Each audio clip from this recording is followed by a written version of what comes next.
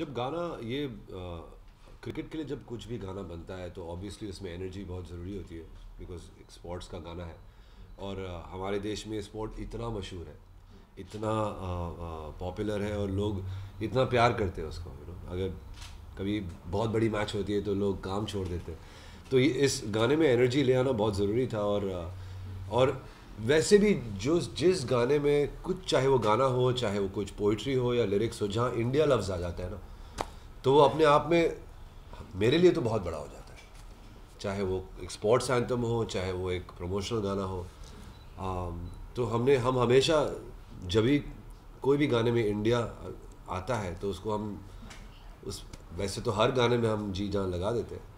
पर इंडिया के जब आ जाता है तो और ज़्यादा यू नो मेहनत और ज़्यादा लगन और ज़्यादा रूह और वो सब शामिल हो जाता है गाने में। सो so, इस गाने में वो सब है और और उसके अलावा of course there is a lot of youth in the song as well because it's it's a song for IPL मेरा पार्टनर सुलेमान मेरा भाई वो आज है नहीं वो अमेरिका में आ, हमने इस गाना इस गाने को हमने कंपोज किया और आ, इसके लिरिक्स डी डी बी मुद्रा ने लिखा एक एजेंसी है।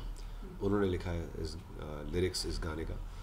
और आईपीएल हर सीज़न ज़्यादातर उसका जो म्यूज़िक होता है वो हम ही करते हैं। शुरुआत हमसे भी और बीच में भी हमने एक गाना किया था जिसका नाम था ऐसा मौका फिर कहाँ मिलेगा।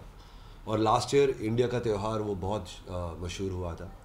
उसको भी हमने कंपोज किया था। इस साल थीम ऐसा था कि इंडिया में इतनी सारी प्रॉब्लम्स चल रहे हैं इनटॉलरेंस और यू नो लोग खुश नहीं हैं। बहुत सारे प्रॉब्लम्स हैं। मैं उसमें नहीं शामिल होऊँगा बट उसके बारे में ज़िक्र नहीं करता हूँ बट क्रिकेट एक ऐसा माध्यम है जो इंडिया को एक कर देता है।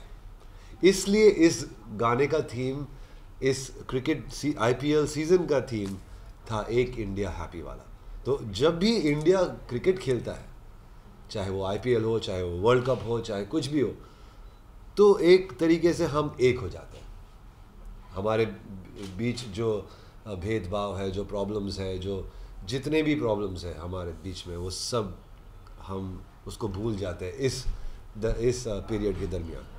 तो ये एक ये दिस वॉज़ द थीम और हमने जब ये इस जब ये हम डिस्कस कर रहे थे तो मुझे लगा कि ये इतना कमाल का थीम है इसमें इतनी आ, आ, इसको इतना आ, सोच के इसको बनाया हुआ है।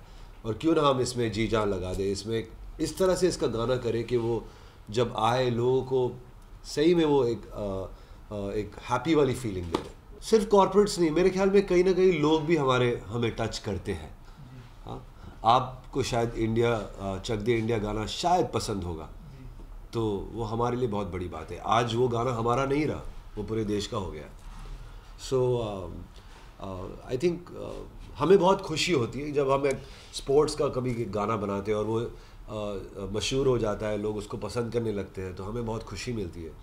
और जैसे मैंने कहा ज़्यादातर जहाँ पे ऐसा गाना बनता है, जहाँ पे इंडिया, जहाँ इंडिया लफ्ज़ शामिल हो जाता है, इंडिया का नाम शामिल हो जाता है तो वो हमारे लिए बहुत अहमियत रखता है, हमें बहुत खुशी देता है।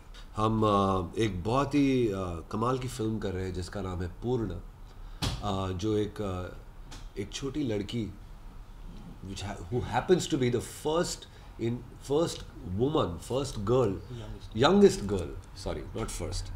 सबसे यंगेस्ट गर्ल है जो माउंट एवरेस्ट क्लाइम कर चुकी है वो एक लड़की इट्स अ ट्रू स्टोरी एक लड़की जो तेलंगाना से बिलोंग करती है। ये उसकी कहानी है उसका नाम है पूर्णा।